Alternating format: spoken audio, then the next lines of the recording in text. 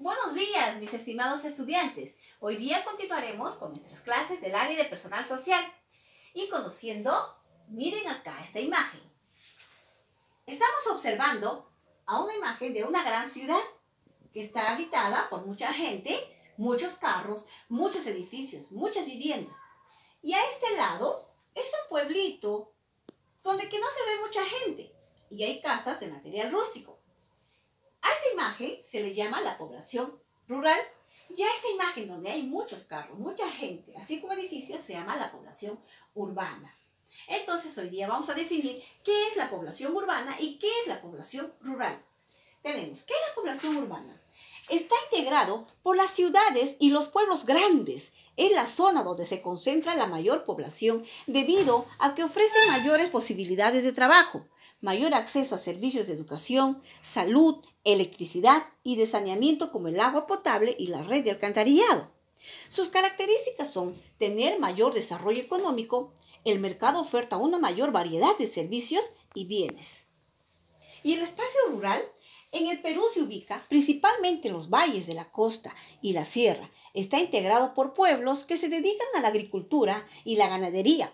La gente que vive en los espacios rurales lo hace cerca al río para poder regar sus cultivos y sustentar a sus animales.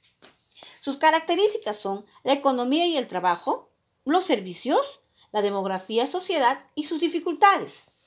Ahora, yo les voy a presentar esta imagen. Por ejemplo, acá tenemos de los servicios. Estos servicios que carecen, acá vemos personas que, están, que carecen de agua potable y tienen que llevar hasta lugares lejanos para que puedan llegar a su casa. ¿A dónde pertenecerá? ¿A la población urbana o rural? ¿Mm? Ah, muy bien. Pertenece a la población rural. ¿Ya? Ahora, acá vemos el transporte. Vemos un transporte acelerado porque cada día aumentan automóviles o, vehículos para su mejor economía. ¿Mm? Esto lo vemos entonces en las grandes ciudades. Y esto pertenece entonces a la población urbana. Aquí tenemos la demografía y sociedad. La gente se dedica a su cultivo para tener la mejor economía en su casa y poder sustentar a su familia.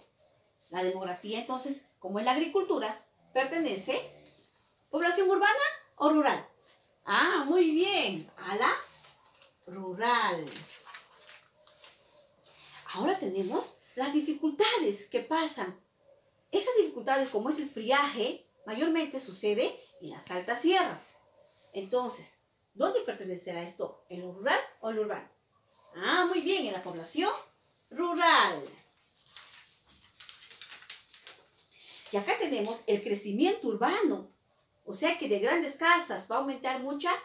Lo que hace la gente del campo es migrar de su ciudad y ir a las ciudades para buscar una buena economía y sustentación a su familia. Entonces esto pertenece a la población urbana.